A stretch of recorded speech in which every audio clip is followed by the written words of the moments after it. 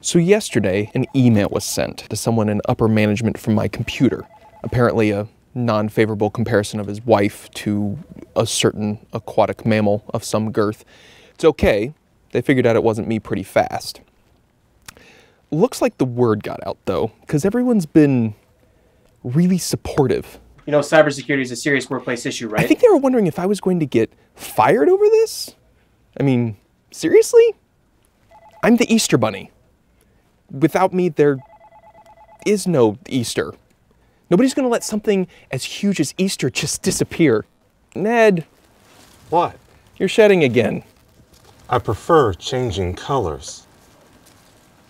Arbor Day, on the other hand. What? Nothing.